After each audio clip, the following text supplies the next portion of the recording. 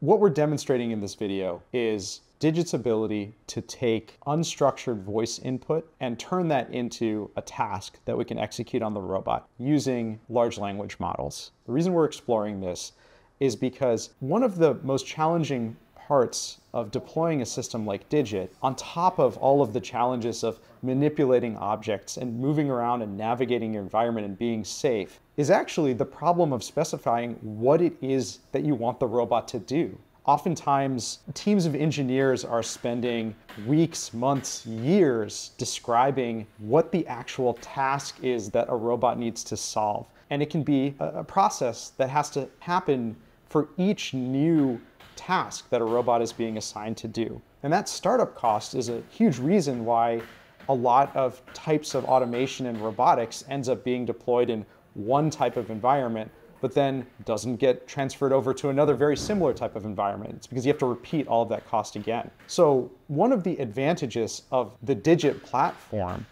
having such a human-centric design means that both the hardware can be moved really easily from application to application, but also a lot of the semantics of how to describe a task can be moved between environments and reused the ways in which Digit manipulates the environment, the ways in which it thinks about the environment. So here we have a relatively simple task, which is to put all of the unpainted boxes in a bin and move the rest to the front row. There's a couple of things that are interesting, which is why we chose this particular prompt. One is that it's got multiple steps to it. It's not something the robot can do in a single interaction. The second, which really exemplifies the power of large language models, is it includes some form of semantic reasoning.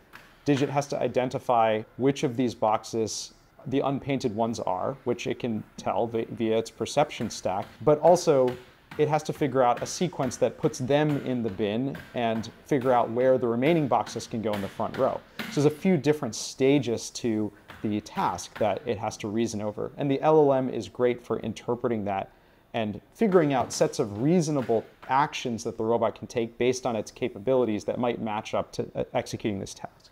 The purpose of exploring this, this is a toy task right now, just moving boxes around in, in towers, but it's really similar to some of the tasks that Digit might do in a warehouse or logistics facility, where we might be moving bins to different locations based on some sort of logic about them, like what zip code they're destined for, or what types of items that they hold. And instead of humans having to write all of that logic out in code or in block diagrams or in process flows, we can speak a natural language description of that task and use large language models to fill in the blanks about how to turn that into sets of actions that the robot can do. And that has the potential to greatly ease the cost of bringing Digit into a new application.